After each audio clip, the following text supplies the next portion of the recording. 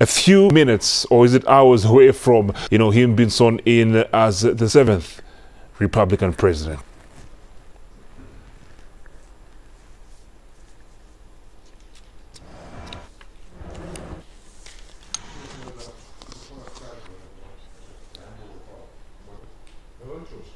And so, as uh, you know, President um, Edgar Lungu makes his way to Hero Stadium. He'll be remembered for um, his key role in ensuring that uh, we do as a country a smooth transition power uh, from him to the uh, elected, uh, you know, uh, Hakainde Hichilema. So there'll be lots of uh, talking points as well when it comes to his contribution to ensure that Zambia lives up to the credentials of uh, you know democracy and uh, the president-elect uh, did arrive to a very overwhelming thunderous welcome um, at Heroes Stadium. And uh, now we await the arrival of the outgoing president his excellency uh, President Edgar Chagwa Lungu um, and this surely does trigger a sense of uh, emotion you saw earlier on the vice president-elect dropping a tear or, or two um, you know following the arrival of uh, the uh, President-elect the atmosphere at Hero Stadium is extremely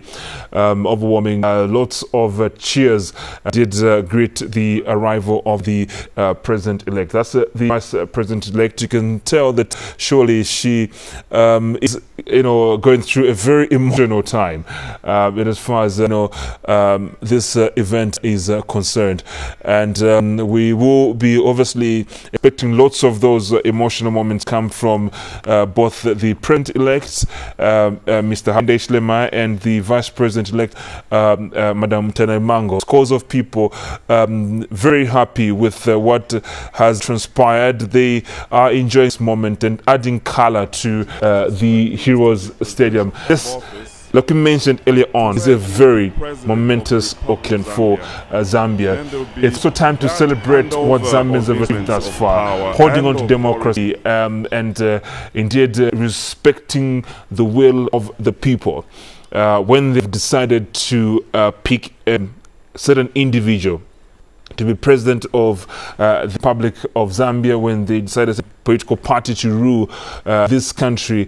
Um, and everyone, uh, you know, goes the will of the people. So that indeed deserves a celebration. Uh, like uh, the president-elect did nation um, when he was declared, you know, uh, president or the winning, you know, presidential candidate in the, you know, last week's election. Um, he did emphasize this victory is for Zambians. Um, and he did, uh, um, um, you know, Zambians for turning out in large numbers to cast their vote and exercise their right to vote. Franklin Jr. is uh, still with us here at uh, there at uh, the Hero Stadium, giving us uh, uh, actualities of what is transpiring there. Uh, we shall be showing you again, um, you know, the live footage of the, um, you know, our president who's making his way to Heroes Stadium. Salute to be followed by the Zambia national anthem. There will be a 21 dance salute and flight past. And there will be that inspection of the inauguration guard of honor. So the march past will be by Zambia Army, the Zambia Air Force, the Zambia National Service, and the Zambia Police Service. After that, the Secretary to the Cabinet will invite President Hakainde Hichilema President of the Republic of Zambia to the inauguration dais to address the nation.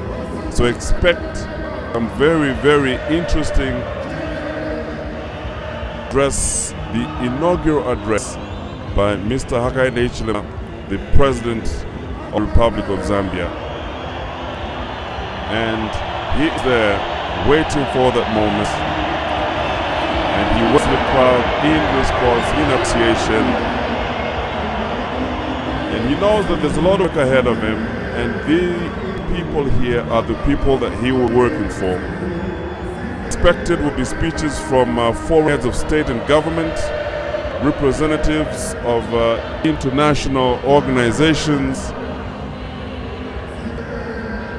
and you can expect, if you have to speculate, warm words that was said about Zambia in consideration of uh, the whole smooth uh, democratic process that uh, has uh, taken place example to the rest of the continent about Zambia's ability to govern